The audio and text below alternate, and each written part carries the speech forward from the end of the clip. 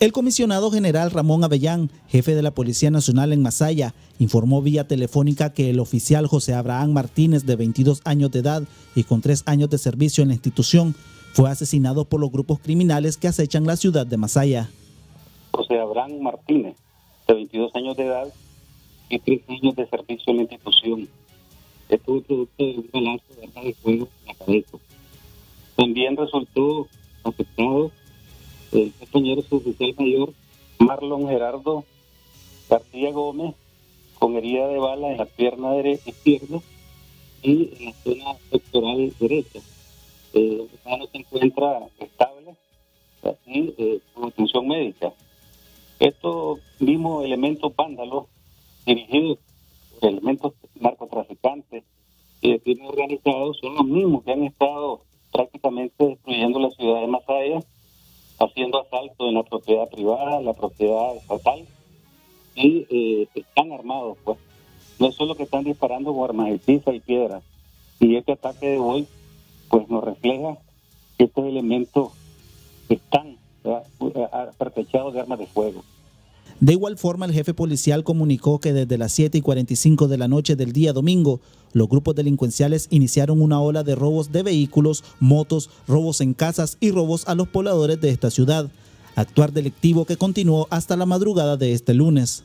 estas agrupaciones delincuenciales ¿verdad? están siendo pagadas y e incluso pues varios de hemos tenido varios detenidos estos cuando son capturados prácticamente se mira que están bajo el efecto del alcohol arriba de dos y pico, porque le aplicamos el, alcoholímetro y eh, se mira que andan drogados.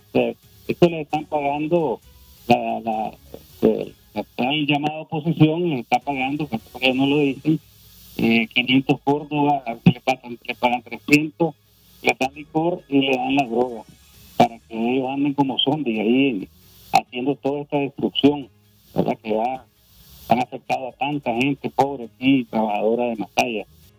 Producto de estos ataques a la población en general, estos mismos grupos terroristas y criminales atacaron la estación policial del municipio, saquearon la Fiscalía General de la República y asaltaron y quemaron la Procuraduría General de la República. Asaltaron el juzgado contra la violencia y quemaron una parte de la alcaldía.